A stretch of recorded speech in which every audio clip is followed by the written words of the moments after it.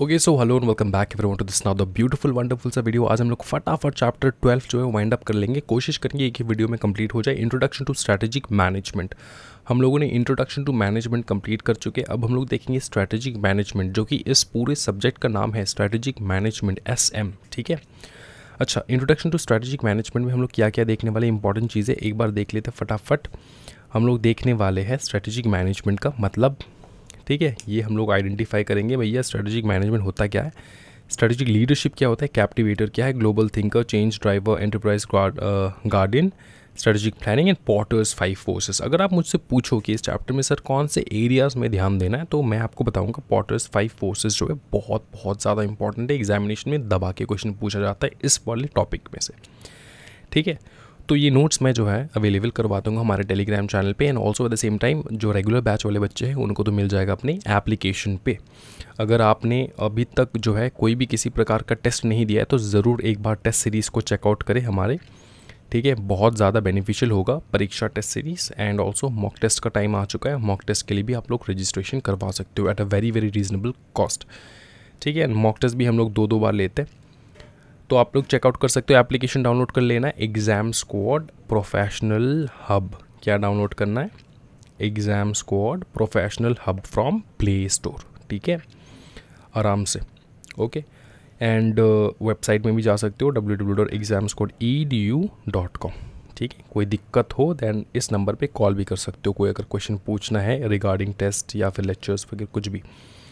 ठीक है, चलो स्टार्ट करते हैं हम लोग। ये तो हो चुका है हमारा प्रमोशनल वाला टॉपिक अब हम लोग देखेंगे फटाफट स्ट्रैटेजिक मैनेजमेंट का मीनिंग देखेंगे सबसे पहले।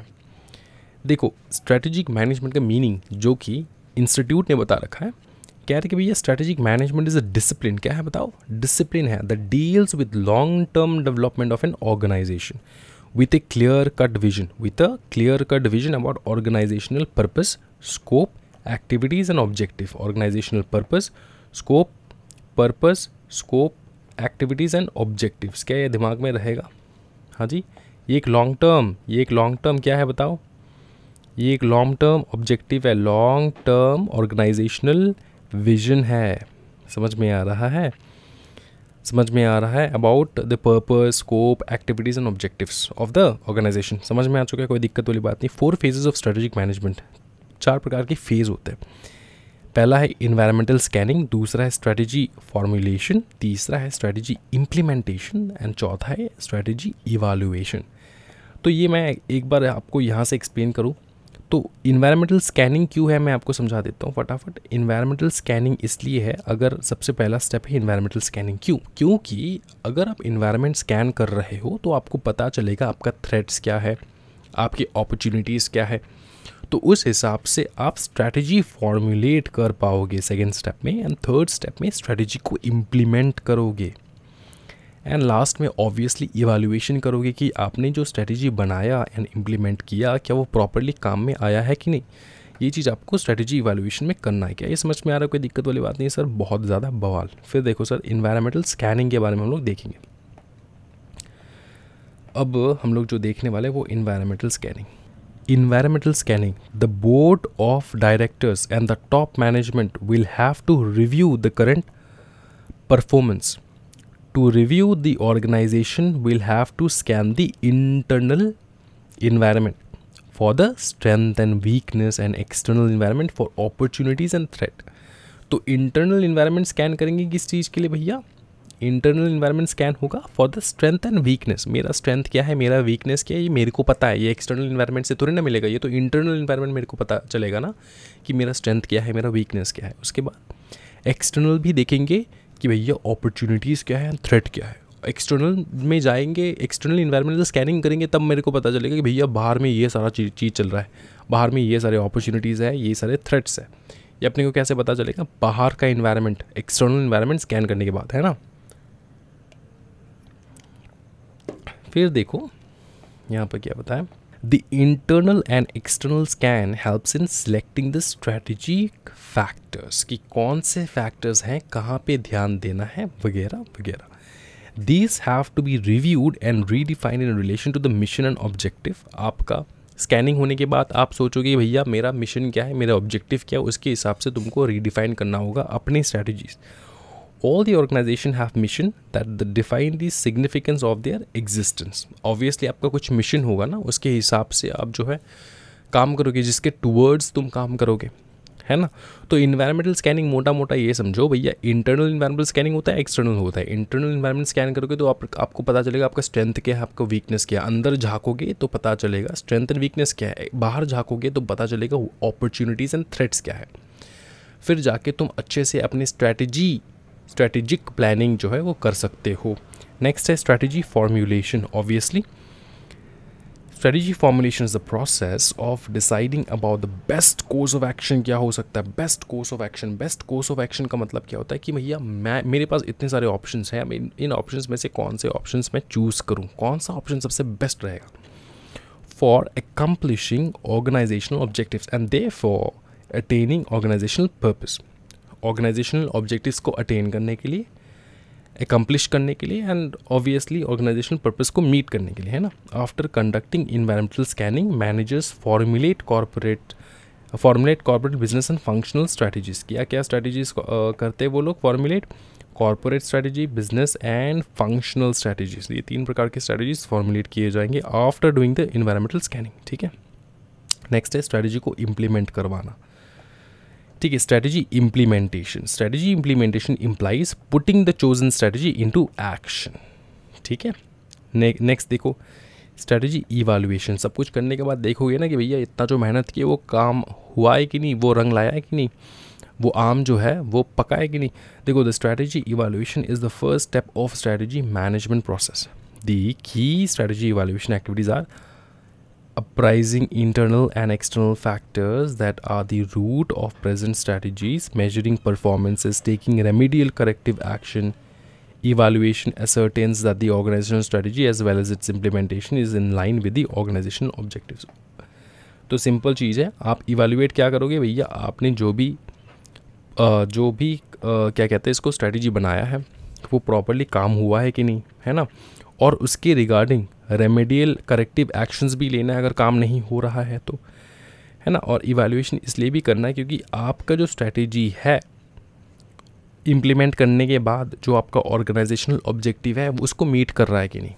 आपने स्ट्रैटेजी बना दिया, ठीक है, वो इम्प्लीमेंट भी हो गया। अब वो जो आपका ऑर्गेनाइजेशन का ऑब्जेक्टिव है, उसको तो उसको, उस पर्पज़ के लिए आप बना रहे हो ना स्ट्रेटेजी तो उसको फुलफ़िल हो रहा है कि नहीं, वो फुलफ़िल हो रहा है कि नहीं, वो आपको देखना है स्ट्रेटेजी वैल्यूएशन ये चार चीज़ जो है ना, आपको दिमाग में आराम से इस प्रकार से सेट करना है कि एग्जामिनेशन में क्वेश्चन बने तो कैसे एम सी को बनेंगे ऑब्वियसली अच्छा कैसे कैसे करना है? इन्वायरमेंटल स्कैनिंग में दो प्रकार के स्कैनिंग्स होते हैं भैया internal external internal environment scan करोगे तो भैया पता चलेगा तुम्हारा स्ट्रेंथ एंड वीकनेस क्या एक्सटर्नल करोगे तो पता चलेगा तुमको तुम्हारा अपॉर्चुनिटीज़ एंड थ्रेट्स क्या है. उसके बाद स्ट्रैटेजी को फॉर्मुलेट करोगे as per your organizational goals ठीक है ना? उसके बाद स्ट्रैटेजी को इम्प्लीमेंट करोगे इम्प्लीमेंट करने के बाद ऑब्वियसली इवेलुएट करोगे जिस कारण तुमने इम्प्लीमेंट किया है, वो काम में आया है कि नहीं, आपके ऑर्गेनाइजेशनल गोल्स को मीट हुआ है कि नहीं, ये चीज़, ठीक है? ये समझ में आ चुका है सर बहुत बवाल। फिर है स्ट्रैटेजिक लीडरशिप स्ट्रैटेजिक लीडरशिप में क्या कह रहे हैं हम लोग? देखेंगे फटाफट। देखो एज पर मे ये एक इंसान है, ठीक है? Strategic leadership is the ability to influence others to voluntarily make decisions that enhances the prospect for the organization's long-term success while maintaining long-term financial stability ठीक है स्ट्रेटजिक लीडरशिप ये है कि इज़ द एबिलिटी ये एक ability है किस चीज़ का ability to influence the other persons जो कि तुम्हारे वहाँ पे काम कर रहे हैं ठीक है अदर्स टू वॉल्यूंटरली मतलब तुमको बताना, बताने की ज़रूरत ना पड़े वॉल्ट्रली तुम कर रहे हो? Voluntarily make decision that enhances the prospects for the organization long term success long term success के लिए तुम वॉल्ट्रली डिसीज़न ले रहे हो। ठीक है? उसके बाद while maintaining the long term financial stability obviously while maintaining the long term financial stability देखो, तुम्हारे दिमाग, तुमको ऑर्गेनाइजेशन का अच्छा तुम चाहते हो कि तुम्हारा ऑर्गेनाइजेशन का अच्छा हो। अब उसके चक्कर में तुम सोच रहे हो कि भैया, हम अगर ये चीज़ खरीद ले, वो मशीनरी खरीद ले, ये कर ले, वो कर ले, इनको एम्प्लॉय कर ले।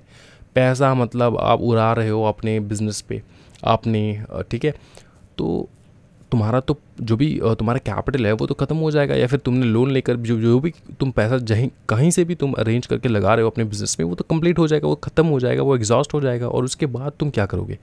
तो यहाँ पर ये कह रहे हैं कि भैया स्ट्रैटेजी बनाओ डिसीज़न लो लेकिन अपने लॉन्ग टर्म फिनेंशियल पोजीशन को फिनेंशियल स्टेबिलिटी को मद्देनज़र रखते हुए तुमको डिसीजंस लेने हैं। ठीक है? ये है strategic leadership different leadership approaches impact the vision and direction of growth and potential success of an organization. To successfully deal with change, all executives need to skill and tool for both strategy formulation and implementation तो सबके अलग अलग approaches होते हैं और अगर आपको regularly on regular basis तुमको फाइट करना है with the changing environment then you also have to skill your self up skill your self up forward strategy formulation and implementation functions and importance of strategic leader following are the nine key strategic leadership rules and brief definition of each navigators ये एक navigator समझ compass है। तो आपको समझ में आ जाएगा navigator है। मतलब नेविगेटर ये जो इंसान होता है ना लीडरशिप ठीक है, किस प्रकार का लीडरशिप स्ट्रेटेजिक लीडरशिप वो एक नेविगेटर होता है। ठीक है नेविगेटर मतलब अगर पकड़ लो तुमको ये रोल मिल रहा है स्ट्रेटेजिक लीडरशिप बनने का मतलब होने का, ठीक है। तो तुम्हारे पास कौन से क्वालिटीज़ होना चाहिए? पहला है नेविगेटर ठीक है, तुम नेविगेटर तुमको नेविगेटर बनना है।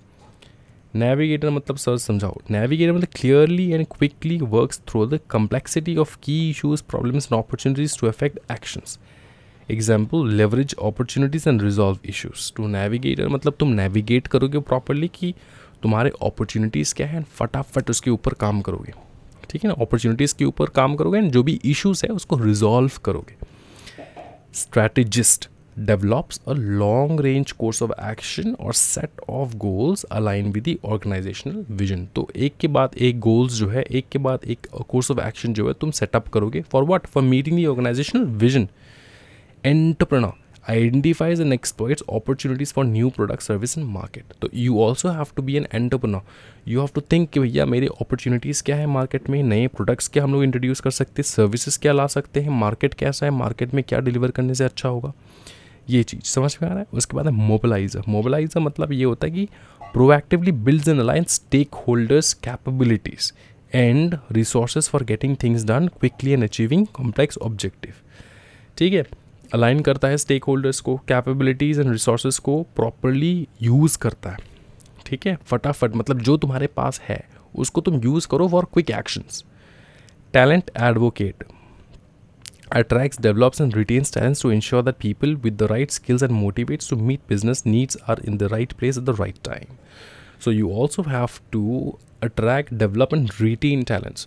आपको पता होना चाहिए कि आपके ऑर्गेनाइजेशन में कौन बंदे काम करे किसमें कितना दम है किसका अच्छा है टैलेंट किस चीज़ पे वो बहुत अच्छा है वो सारा चीज़ तुमको मॉनिटर करना है मॉनिटर करने के बाद उसको प्रॉपर यूज़ में रखना है ठीक है captivator builds passion and commitment towards a common goal captivating इंसान कहते हैं ना हम लोग कैप्टिवेटिंग पर्सन तो you have to build the interest in your workers ठीक है? एक पैशन एक कमिटमेंट उनको देना है so that they move towards the common goal फिर है global thinker integrates information from all sources to develop what well inform diverse perspective and can also be use to optimize organization performances मतलब तुमको सीमित नहीं रहना है कि एक पर्टिकुलर जगह में, भैया सरोजनी नगर में तुम बिज़नेस करो तुमको सिर्फ़ ये नहीं सोचना है कि सरोजनी नगर में कैसा इन्वायरमेंट है, क्या है। तुमको पूरा सोचना है, पूरे एरिया का सोचना है। इंडिया का सोचना है फॉरेन का सोचना है। मतलब for example if you are thinking to expand तो बिज़नेस को ग्रोथ तो वैसे ही होता है ना। तो you have to be a global thinker ठीक है? ये समझ में आ चुका है? कोई दिक्कत वाली बात नहीं। उसके बाद जो हम लोग टॉपिक करने वाले वो strategic management functions and importance for professional like company secretaries ये आपका फेवरेट टॉपिक स्ट्रेटेजिक मैनेजमेंट ठीक है functions and importance for professionals like company secretary company secretary का क्या रोल होगा यहाँ पे? ये सारा चीज़ हम लोग देखने वाले हैं यहाँ पे। बहुत बहुत ब्यूटीफुल होने वाला है ये सारे टॉपिक्स ठीक है? लास्ट में हम लोग कर लेंगे पॉटर्स फाइव फोर्सेस का ठीक है? तो फटाफट हम लोग स्टार्ट करते हैं। ओके okay, तो अभी जो हम लोग देखने वाले वो है strategic management functions and importance of for professionals like company secretary क्या बता रहे हैं यहाँ पे कि देखो a company secretary in today's era while discharging his or her professional obligation has to perform several key roles which are also integral components of strategic management जी, उनका जो की रोल्स है, वो भी एक प्रकार का इंटीग्रेटेड इंटीग्रल कंपोनेंट्स है ऑफ़ स्ट्रेटेजिक मैनेजमेंट क्योंकि देखो कंपनी सेक्रेटरी भी स्ट्रेटजी बनाने में मदद करता है, समझ में आ रहा है? A brief discussion on some of the rules are as follows advisory वो एज ए एडवाइजरी बैठता है है ना? तो advisory as an advisory to the board of directors तो बोर्ड मेंबर्स को as advise as as advisory वो काम करता है फॉर बोर्ड ऑफ़ मेंबर्स अब एडवाइस क्या देता है एडवाइस वेरियस डिसीजंस के ऊपर उन उसको क्या लगता है उसको क्या आ, समझ में आता है उसके हिसाब से उसके प्रोफेशन के हिसाब से उसके टैलेंट के हिसाब से वो उसको एडवाइस करता है उसके एक्सपीरियंस के हिसाब से वो उसके नॉलेज के हिसाब से वो एडवाइस करता है अपने बोर्ड मेंबर्स को। Communications with stakeholders the company secretary is a distinctive interface between the board and management and as they act as an important link between the board and the business. ठीक है? उसके बाद flawless disclosure and reporting ये तो पढ़ने की कोई ज़रूरत नहीं है, आपको पता ही है। फ्लॉलेस डिस्क्लोजर होगा एंड रिपोर्टिंग होगा। ऑब्वियसली डिस्क्लोजर रिपोर्टिंग ये क्या करता है? कौन करता है? अपना कंपनी सेक्रेटरी करता है। In recent years there has been increase emphasis in the quality of corporate governance reporting and calls for increase transparency फिर management of board meeting and committees ये सिंपल चीज़ है। कोई भी बोर्ड मीटिंग हो रहा है सीएस करेगा। कोई भी कमिटी मीटिंग हो रहा, है हो रहा है सीएस कंडक्ट करेगा। कोई भी जनरल मीटिंग हो रहा है सीएस कंडक्ट करेगा। समझ में आ रहा है? उसके बाद compliance obviously in a current scenario business has to adhere to various law and regulations failing which may invite various legal hassles so इसलिए कंप्लायंस के लिए पूरा जिम्मेदार है अपना कंपनी सेक्रेटरी उसके बाद रिप्रेजेंटेशन कंपनी सेक्रेटरी जो है, वो रिप्रेजेंट करता है ट्रिब्यूनल्स में अपने कंपनी को।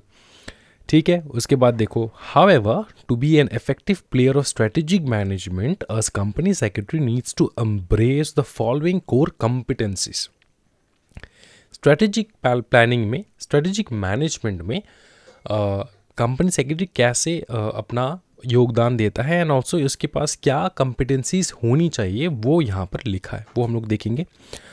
Possessing a thorough thorough knowledge of companies business sound knowledge of law relating to company, capital market, industrial related, etc.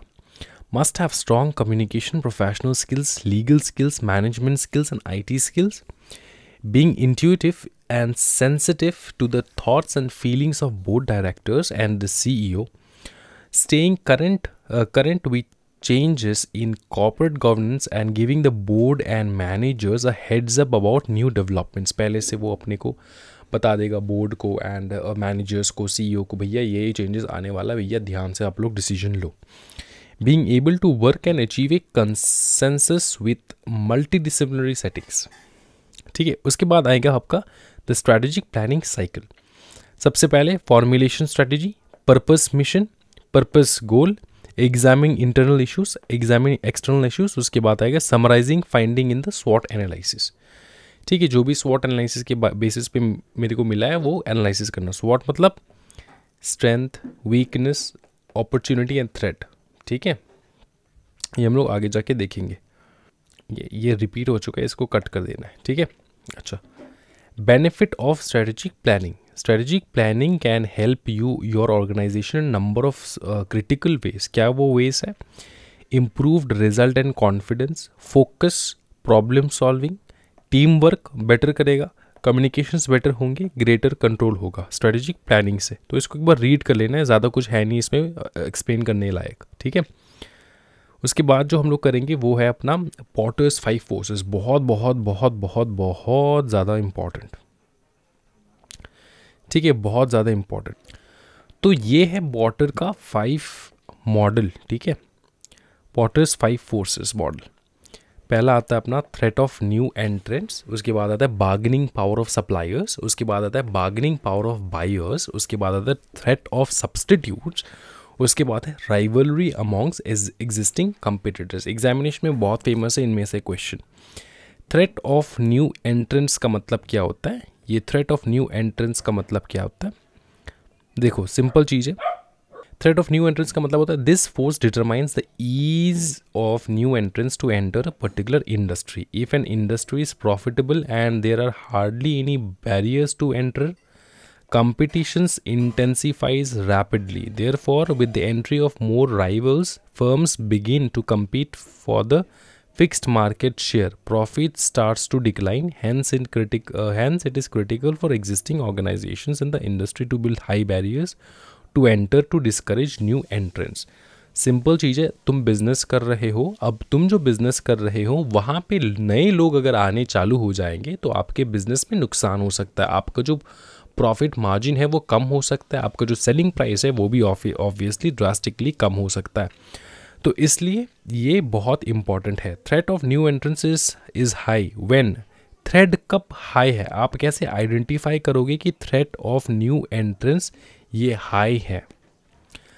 अगर आप जो बिज़नेस कर रहे हो smaller capital is required to make an entry अगर उस उस बिज़नेस में स्मॉलर कैपिटल चाहिए होता तो हर कोई घुस जाएगा। Existing companies are not influential dominant to prevent new entrants जो एग्जिस्टिंग कंपनीज़ है, वो डोमिनेंट नहीं है, वो रोक नहीं सकते न्यू एंट्रेंस को आने में। उसके बाद है existing firms do not have patents trademark sorry patents trademark और do not strong do not have strong brand value जो एग्जिस्टिंग है, उनके पास पेटेंट नहीं है ट्रेडमार्क्स नहीं है स्ट्रॉन्ग ब्रांड वैल्यू नहीं है। अब आप सोचो कि देखो एक क्वेश्चन आ सकता है आपके दिमाग में यहाँ पे कि सर देखो बिज़नेस करना तो सबका अधिकार है तो हम लोग ये क्यों कर कह रहे कि इसको स्टॉप करना चाहिए? आ, मतलब बैरियर दे दे तो मतलब हम लोग ऐसे बिज़नेस करें कि कोई आ ना सके है ना?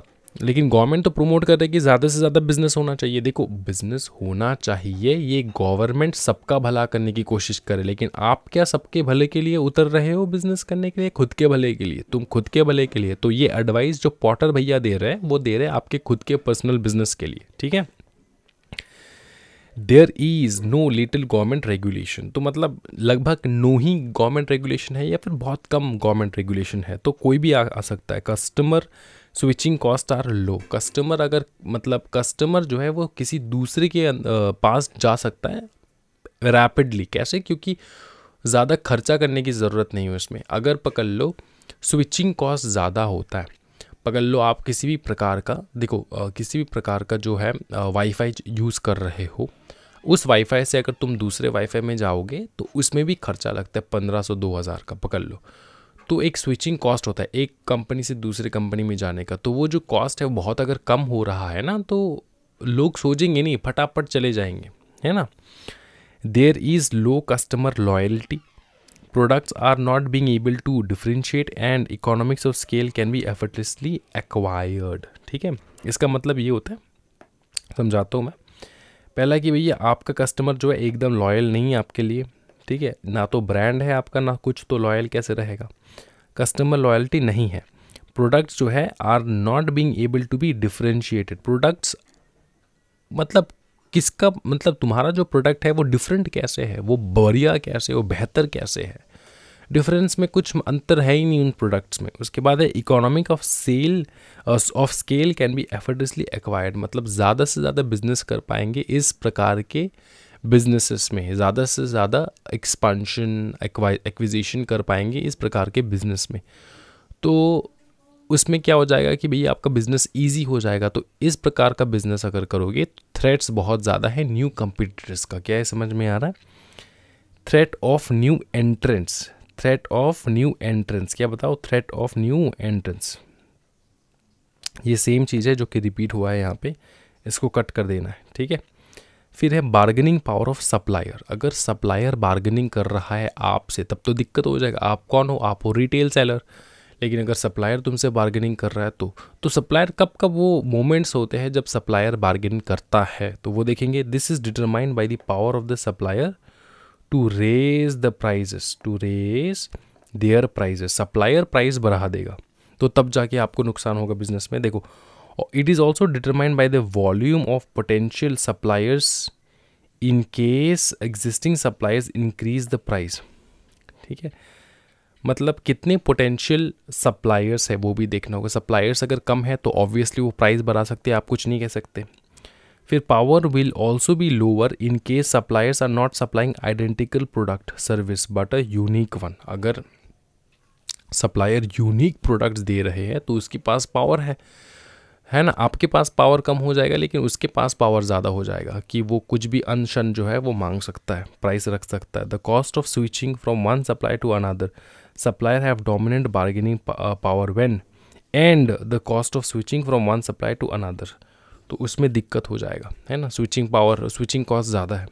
Suppliers have dominant bargaining power when मतलब सप्लायर्स कब डोमिनेंट रहते हैं, वो हम लोग देखने वाले हैं। Suppliers have dominant bargaining power कब कौन से टाइम पे, कौन से सिचुएशन में सर वो बताओ, देखो।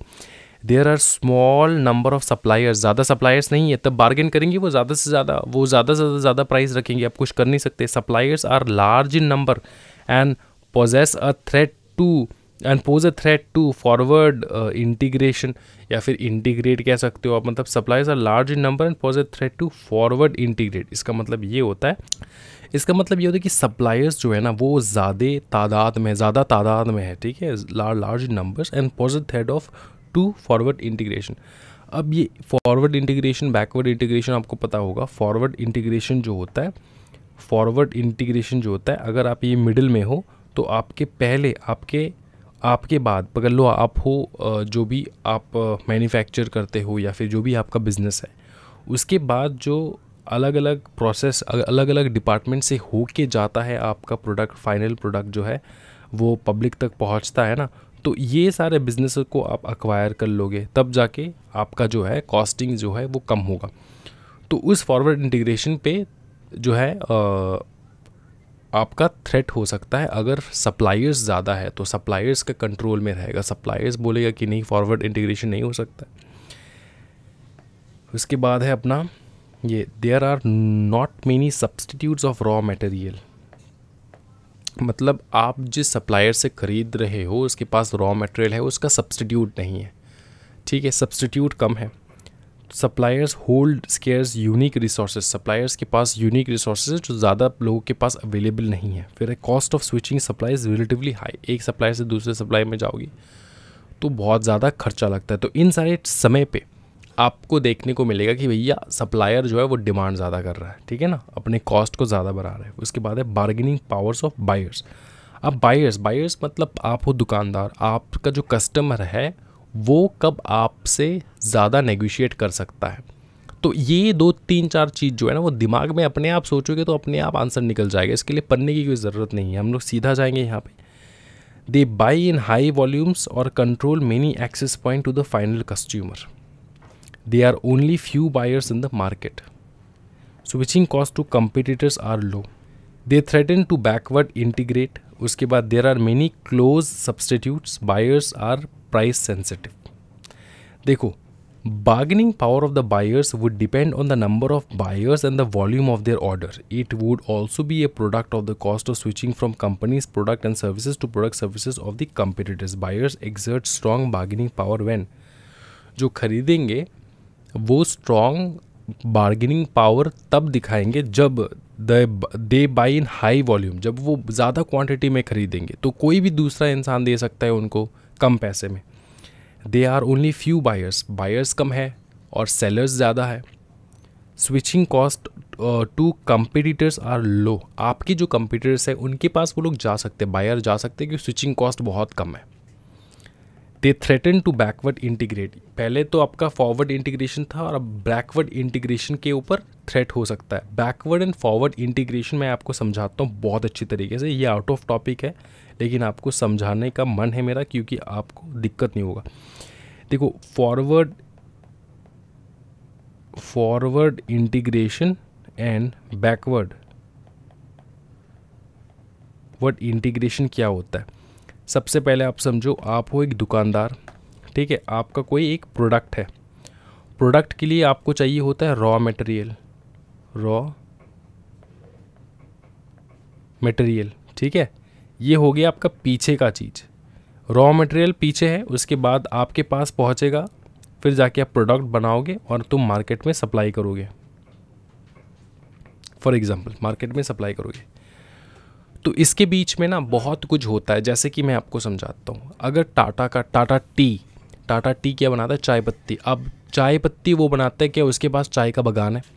अगर उसके पास चाय का बगान है तो उसके लिए ईजी होगा ना, उसका कॉस्ट कम हो जाएगा। अगर उसके पास चाय का बगान नहीं है तो उसको चाय का पत्ती जो है, वो किसी और से ख़रीदना होगा।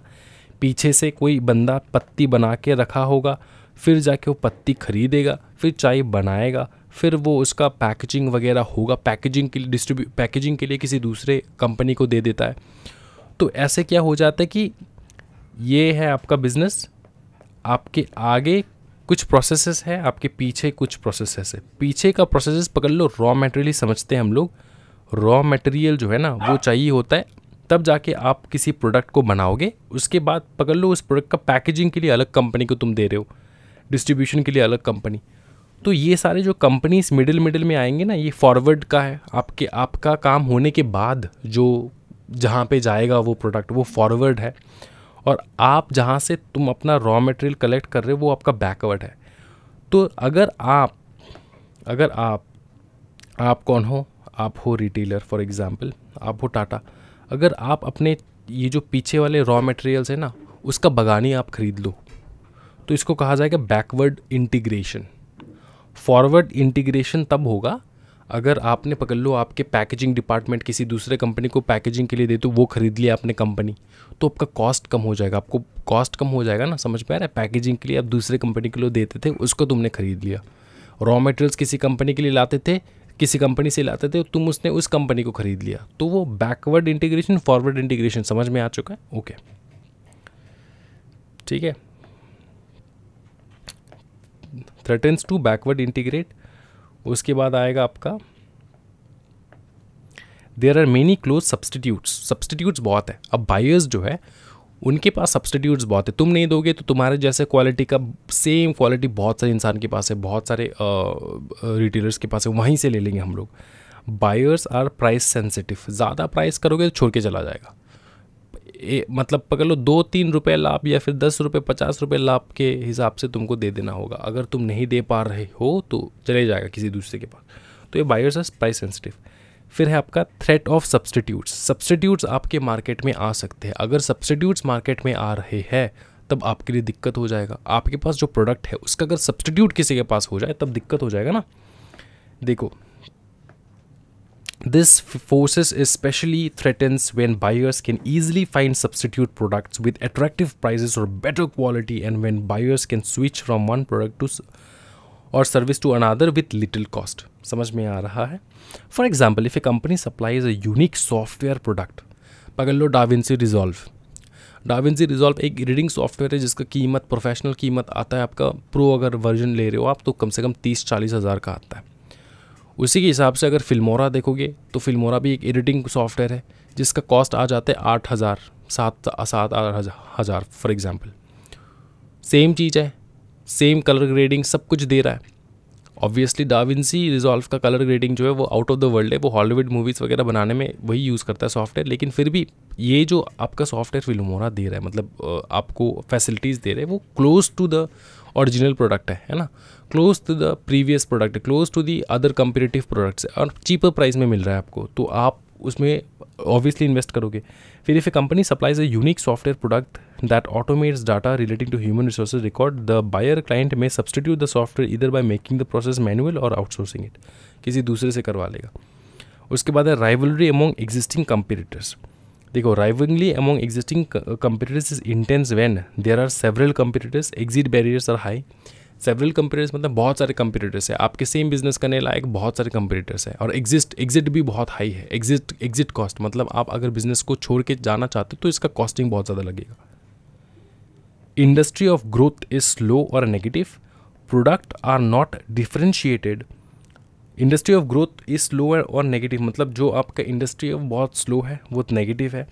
प्रोडक्ट आर नॉट डिफ्रेंशिएटेड ज़्यादा डिफरेंस नहीं है प्रोडक्ट्स में। Product can be easily substituted low quality low customer loyalty तो इन सारे चीज़ों में आपको पता चल जाएगा भैया कस्टमर्स ये आपके कंपिटिटर्स के बीच में बहुत ज़्यादा राइवलरी है एंड तब जाके बिज़नेस को हैम्पर हो सकता है। ये आपका पूरा जो है पॉटर्स का फाइव पूरा फाइव फाइव पॉटर्स मॉडल कह सकते हो या फिर आप कह सकते हो इसको five forces Porter's five forces इसको जानने के बाद आप इसको इम्प्लीमेंट कैसे करोगे? इम्प्लीमेंटेशन ऑफ़ द मॉडल पहला the following steps are to be followed implementing the Porter's model पहला gather the information on each of the five forces analyse the result and display them on a diagram formulate strategies based on the conclusion सबसे पहले है Porter's का पाँचवा, पाँचों चीज़ देखोगे और देखोगे कि भैया आपका कहाँ पे कौन सा अट्रैक्ट हो रहा है और उसके हिसाब से आप प्लानिंग करोगे। Gather the information on each of the five forces analyse the result and display them on a diagram formulate strategy based on the conclusion समझ में आ चुके? ये तीन स्टेप रहेंगे। ठीक है? और ये पिज़्ज़ा हट केस स्टडी है एंड पिज़्ज़ा हट ही केस स्टडी होगा सर। हाँ। ये आपका होमवर्क रहेगा। ये केस स्टडी आपको पढ़ना है। ये मैंने ये मैंने नोट्स में इंक्लूड कर दिया सो दैट आप लोग एक बार गो थ्रू कर लो इसमें। Competitive rivalry threat of new entrants threat of substitutes ये वाला चीज़। ठीक है? इसके साथ जो है ना, ये चैप्टर कंप्लीट हो जाएगा आपका। ठीक है? तो आज की वीडियो में इतना रखते भाई मेरे। Thank you so so much everyone happy learning guys bye and take care video को लाइक एंड सब्सक्राइब ज़रूर कर देना चैनल को। Thank you so much happy learning guys bye and take care